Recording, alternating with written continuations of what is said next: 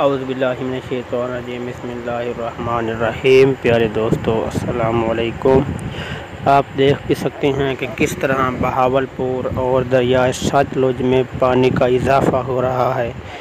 और अल्लाह पाक खैर करे कि जब पानी का इजाफ़ा होता है तो नहर भी बंद कर दी जाती है और काश्तकारों को मुश्किल का सामना करना पड़ता है और सैलाब का ख़तरा जो है वो बढ़ जाता है। तो अल्लाह पाक करम करे। आप देख भी सकते हैं कि किस तरह पानी आ रहा है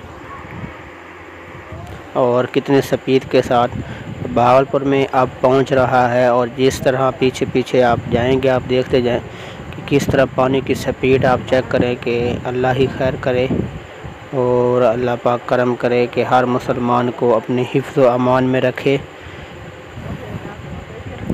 पानी की स्पीड आप चेक कर सकते हैं कि किस तरह पानी आ रहा है और पानी का बहाव जो है वो भी आप देख सकते हैं कि कितना तेज़ रफ्तार आप पानी देखें। थोड़ा सा मैं आगे गया हूँ, वहाँ पे आप पानी देखें कि किस तरह पानी आ रहा है और पानी की जो स्पीड है वो एक साइड से ज़मीन अपने लपेट में ले रहा है।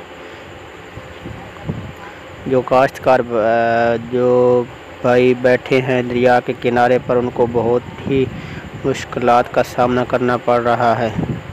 अल्लाह पाक करम करे और अल्लाह पाक खैरियत से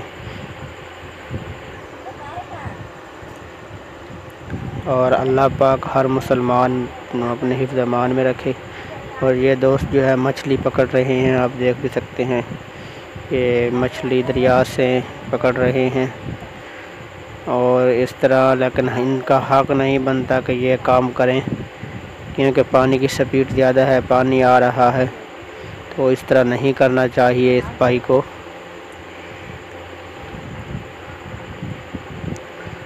और आगे बेड़ी वगैरह